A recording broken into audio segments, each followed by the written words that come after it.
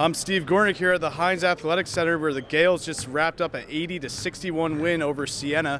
The Gales finished at 17 and 13 overall for the season with an 11-7 in conference record. I'm here with John Stanko of ICGales.com. John, what were your thoughts about the game today?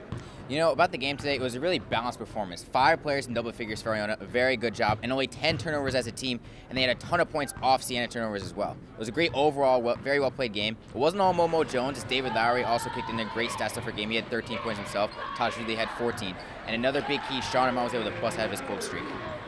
So this season's been a bit tumultuous for the Gales. What are your overall thoughts of the year heading into the MAAC tournament right now?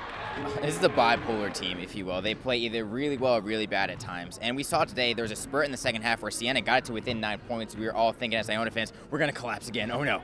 But if it didn't happen, Iona closed out well, and I think that's big. The later half of the season, the past two games, Iona has closed out games. They made their free throws throughout the game, and frankly, they've expanded leads instead of rather than rather than seeing them shrink. So it's really big for the Gales. So they can have that moving forward into the MAAC tournament. It'd be huge. Fan favorite Sean Armand had a tough first half today, and he's been in a bit of a slump as of late, but he had a strong second half.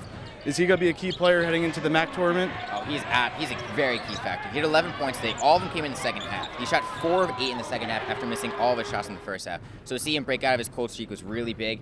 And him coming into MAAC tournament time is going to be huge. He averages about 17 points per game. We've seen that dip the past three games.